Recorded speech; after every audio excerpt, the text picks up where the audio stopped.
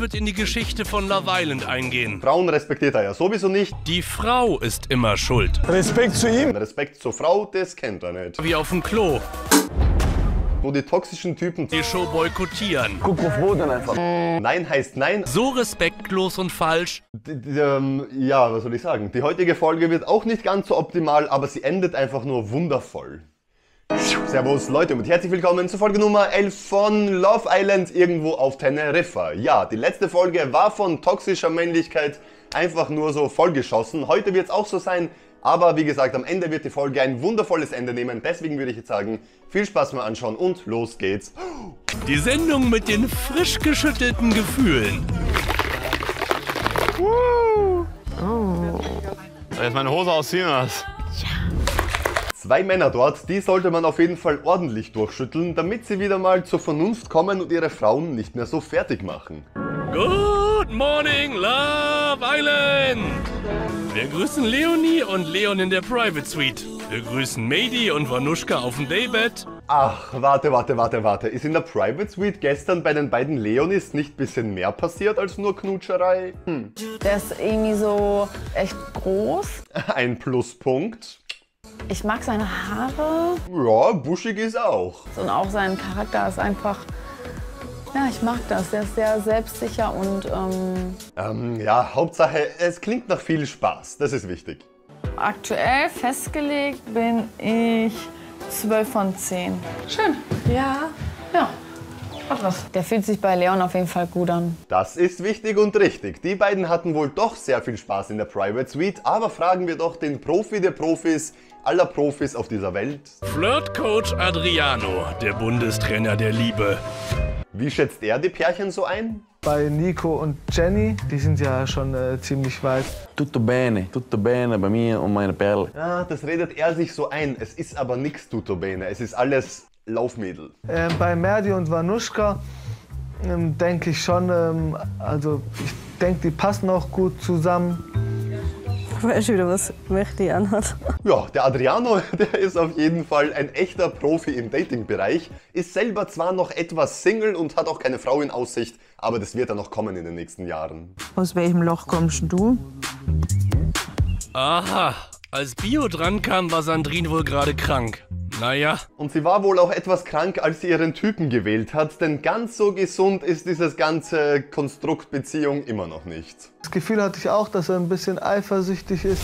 Ja, ich muss doch mein Revier markieren.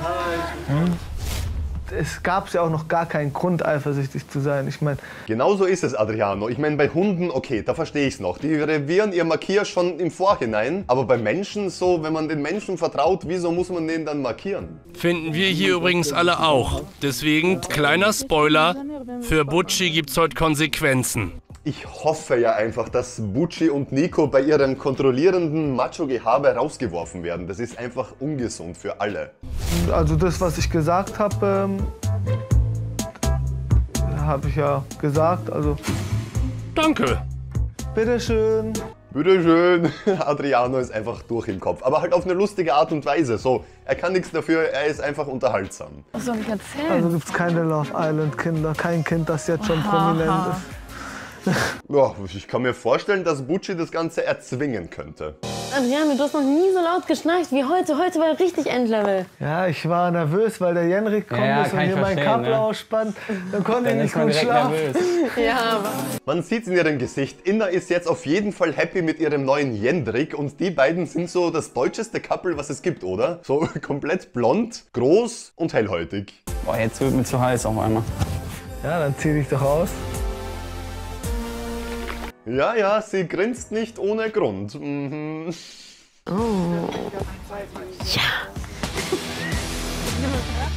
Ihr kriegt hier gleich einen Orgasmus.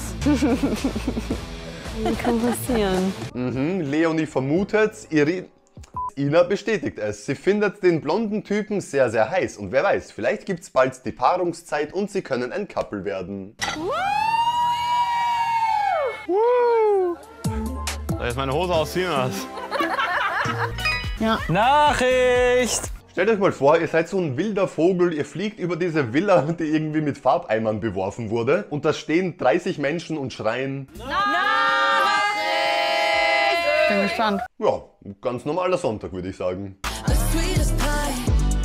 Highlander. Man sieht doch, wie fertig sie ist, wenn sie bei ihm ist. Hashtag Splish Splash. Hashtag Playtime. Hashtag Poolparty. Geil, dann äh, machen wir eine fette Poolparty. Oh yeah, und bei der Poolparty wird getanzt, getwerkt und auch gesungen. Wundervoll gesungen. Dagi Dagi, Dagi Dagi, Dagi Dagi, nice.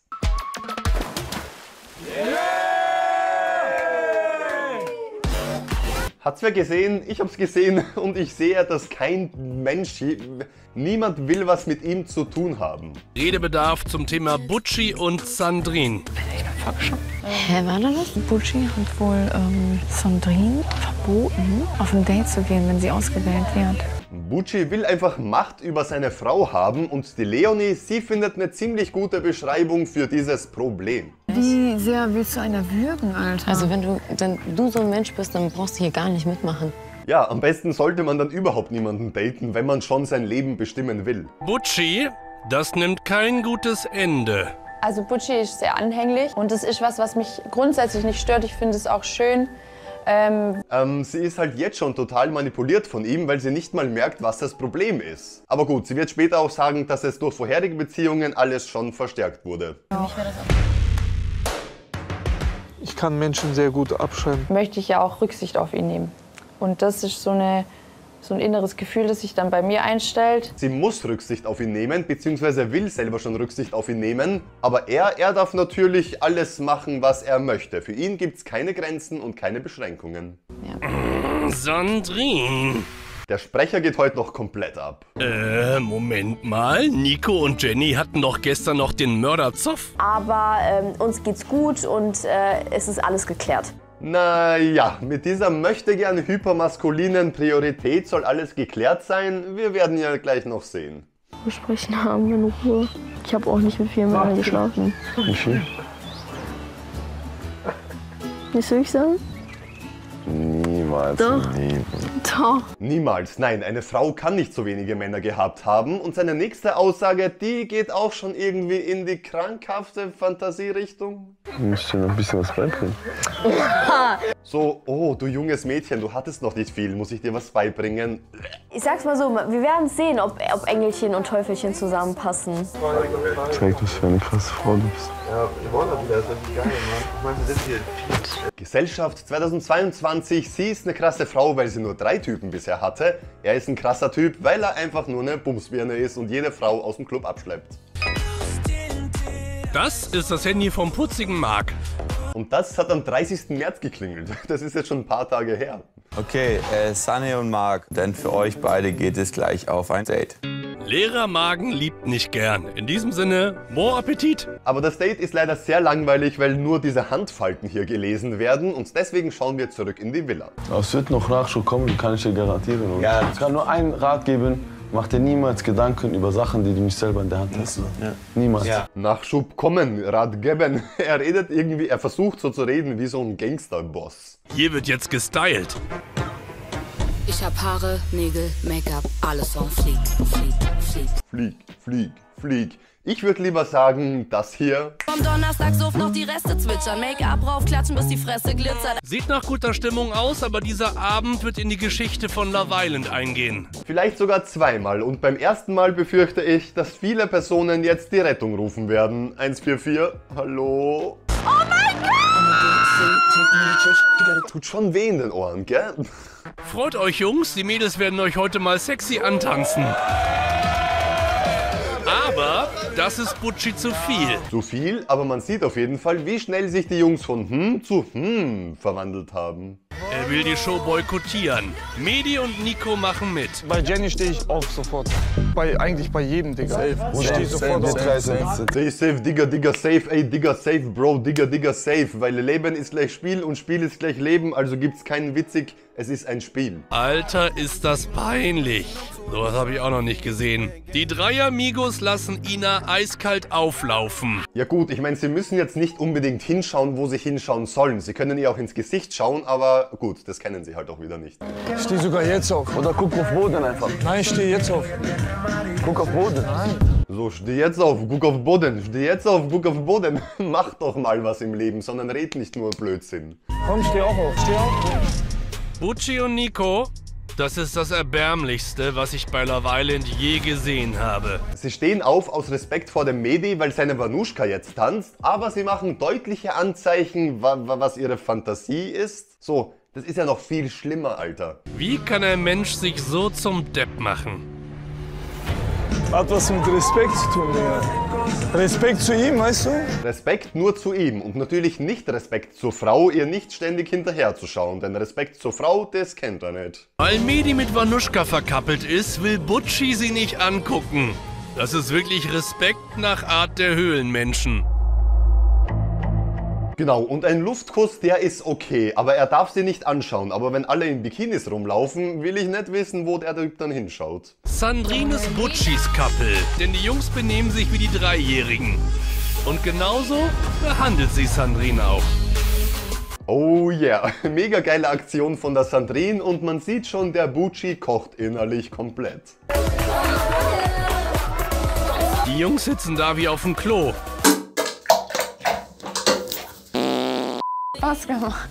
Sehr gut. Wirklich sehr geil von der Leonie, weil sie halt doch alles gegeben hat, obwohl die Jungs irgendwie versucht haben, sich zu verdrehen. Hashtag Ansage. Für eine Frau echt nicht cool. Unter aller Sau fanden wir das. Genau, vor allem bei der Leonie sind sie nicht aufgestanden, obwohl die Leonie mit dem Leon verkappelt ist. Es heißt ja nicht, dass ich eu euch anfasse oder euch geil finde und nicht runter zu gucken. Also sorry, Jungs, ich liebe euch, aber das ist jetzt nicht meine Art. Ich würde nicht eure Frau jetzt anfassen oder so. Und wie gesagt, man muss denen jetzt nicht auf den Arsch oder sonst wo hinschauen. Man kann ja einfach ins Gesicht schauen. Und wenn das die Jungs nicht kennen, ja, dann müssen sie halt so feige sein und aufstehen und sich wegdrehen. Vor der ganzen Sache, jetzt vor der ganzen Sache war mir auch nicht klar, dass ich das empfinde für Egal. dich, was ich empfinde. Das ist Oder genau der wie Punkt. ich. Aber du bist warum kein sp- Spiel für mich. Oh doch, sie ist auf jeden Fall ein ganz, ganz großes Spiel für ihn und außerdem ist er nicht bei allen Frauen aufgestanden, sondern nur bei den Frauen seiner Bros. Was meinst du? Ja, du bist zum Beispiel Ich bei bin bei Leonie aufgestanden. Ja, aber ich bin bei ihr Anne? aufgestanden. Ich bin bei Jenny aufgestanden. Die zwei sind keine Couples offiziell. Ich habe da weggeschaut. Ein offizielles Couple ist ja nur eine Spielregel und weniger wert als ein Nicht-Couple, welches viel mehr Gefühle füreinander hat. Und wieso ist er dann nur für die offiziellen Couples aufgestanden? Dann hätte er einfach für alle Frauen aufstehen müssen, okay. Sorry, aber was ist denn ein Unterschied, wenn du dann sitzen bleibst? Ja, nein, das hat was damit zu tun, weil es nicht um euch geht, sondern um die Männer. Genau, denn Frauen respektiert er ja sowieso nicht, die Männer auch nicht, außer die Brother from another mother Männer, die respektiert er. Die Rechnung kriegst du dann noch heute Abend. Der Held läuft weg. Das passt super zu deiner ganzen Haltung. Die ist nämlich auch zum Weglaufen.